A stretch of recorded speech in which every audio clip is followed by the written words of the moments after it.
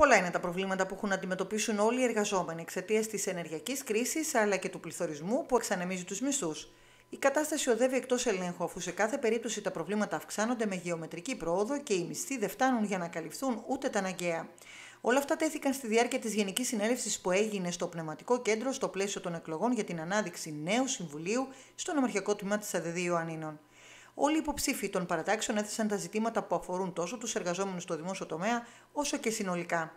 Ο Γιώργος Πετρόπουλος στις δηλώσεις του αναφέρθηκε στην οικονομική λέλαπα που έχουν να αντιμετωπίσουν ειδικά οι πρωτοδιόριστοι δημόσιοι υπάλληλοι.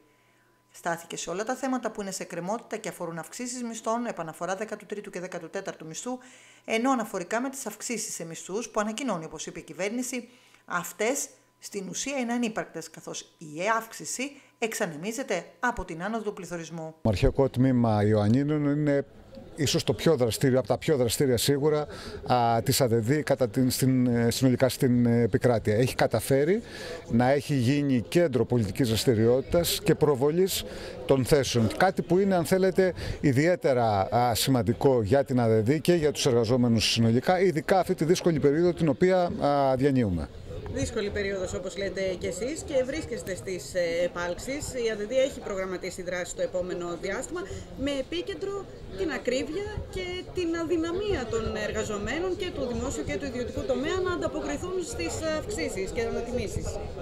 Ο Υπουργός Αναπτύξεως, όπως ο ίδιος λέει, μας προειδοποίησε ή μας απείλησε ότι ο επόμενος χειμώνας θα είναι αντίστοιχος ή παρόμοιος με το χειμώνα του 42, τον κατοχικό χειμώνα. Αυτό λοιπόν τον κατοχικό χειμώνα οι εργαζόμενοι στο δημόσιο καλούνται να το ζήσουν με καθυλωμένους τους μισθούς τα τελευταία 11 χρόνια. Ενδεικτικά να σας αναφέρω ότι ένας πρωτοδιόριστος εκπαιδευτικός αμείβεται αυτή τη στιγμή λιγότερο από το μισθό του ανειδίκευτου εργάτη. Όπως καταλαβαίνετε, αυτό δεν έχει να κάνει μόνο με ένα ζήτημα αξιοπρέπειας, αλλά είναι ζήτημα επιβίωσης ε, για τους εργαζόμενους. Οι οποίοι, τους εργαζόμενους στο δημόσιο, οι οποίοι αντιμετωπίζουν πια, όπως και το σύνολο σχεδόν των εργαζομένων, των φτωχότερων αλλά και των μεσαίων στρωμάτων, τους λογαριασμούς με τρόμο τους λογαριασμούς τους ρεύματο, με τρόμο α, τα ψώνια στο σούπερ μάρκετ και με, με πολύ μεγάλη αβεβαιότητα α, το χειμώνα που έρχεται. Η απεργιακή κινητοποίηση την οποία έχει εξαγγείλει η ΑΔΔ έχει λοιπόν ως κεντρικά ζητήματα πρώτον α, τα, το να πάρθουν μέτρα για την ακρίβεια, το οποίο από ό,τι φαίνεται η κυβέρνηση δεν θέλει να πάρει.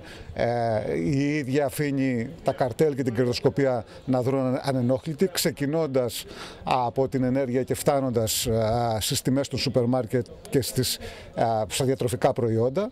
Ε, και ταυτόχρονα με το ζήτημα της αύξησης των μισθών. Τα βασικά μας αιτήματα αναφορικά με την αύξηση των μισθών αφορούν αυξήσεις οι οποίες πρέπει να είναι τουλάχιστον στο ύψος του πληθωρισμού, οι οποίες ακόμη και αυτές δεν μπορούν να καλύψουν τις ανάγκες. Ε, να πω εδώ ότι έχουμε, θα έχουμε έναν ετήσιο πληθωρισμό της τάξης του, του 8%. Ήδη ο τρέχον πληθωρισμός ξεπερνάει το 12%. Αυτό πρακτικά σημαίνει και υπάρχουν μελέτες που το αποδεικνύουν ότι είναι μια μείωση των μισθών, μια μείωση της αγοραστικής δύναμης που μπορεί να είναι διπλάσια, μπορεί να φτάσει δηλαδή δηλαδή ακόμη και το 20%. Υπό αυτές τις συνθήκες λοιπόν χρειάζεται άμεσα αύξηση των μισθών στο ύψος του πληθωρισμού, ταυτόχρονα παραφορά του 13ου και 14ου μισθού. Η κυβέρνηση ε, προσπαθεί να ξεγελάσει τους εργαζόμενους στο δημόσιο και την κοινωνία ότι προχωρά σε αυξήσεις μέσω της μείωση της εισφοράς αλληλεγγύης. Να πούμε εδώ ότι η εισφορά αλληλεγγύης ε, έχει καταργηθεί για όλο τον ιδιωτικό τομέα όλο το προηγούμενο διάστημα, τα τελευταία προηγούμενα δύο χρόνια, ακόμη και για εισοδήματα που φτάνουν στι 200.000 ευρώ. Σε αντίθεση με τους εργαζόμενους, οι οποίοι κοινωνικά ρατσιστικά θα έλεγα, στους οποίους κοινωνικά ρατσιστικά θα έλεγα παρέμεινε. Η εισφορά αλληλεγγύης αφορά έναν αριθμό, ένα μέρος των εργαζόμενων στο δημόσιο, αφορά εισοδήματα πάνω από τα 12.000 ευρώ, αλλά ακόμη και αυτά τα εισοδήματα που αφορά, οι αυξήσεις, οι πραγματικές αυξήσεις δεν θα ξεπεράσουν το 1,5, 2 ή 5 ευρώ. Όπως καταλαβαίνετε, αυτά δεν είναι ικανά να καλύψουν τις ανάγκες των εργαζομένων σε αυτή τη δύσκολη περίοδο. Α, α, όταν πια το ζήτημα είναι η επιβίωση, δεν είναι απλά ένα κλαδικό αίτημα, δεν είναι ανάγκη για ένα καλύτερο δημόσιο, για αυξήσεις, τέλος πάντων για ε, αύξηση του προσωπικού ή για επαρκή στελέχωση, που είναι πολύ σοβαρά ζητήματα και τα βάζουμε στην ατζέντα, αλλά είναι ζήτημα πια επιβίωσης. Δεν ξέρω πόσοι εργαζόμενοι θα μπορούσαν να συνεχίσουν και να βγάλουν το χειμώνα σε αυτές τις συνθήκες. Σε παγωμένα σπίτια, με διατροφικές ε, ελλείψεις, με δυσκολία να ανταπεξέλθουν ε, στις καθημερινές τους ανάγκες. Άρα λοιπόν είναι απαραίτητο. Νομίζω ότι αυτή θα είναι η κινητήρια δύναμη που θα σηκώσει τους ανθρώπους από τους καναπέδες.